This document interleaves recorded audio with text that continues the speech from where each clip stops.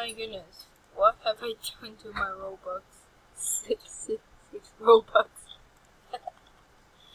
okay, what is the meaning of life, guys?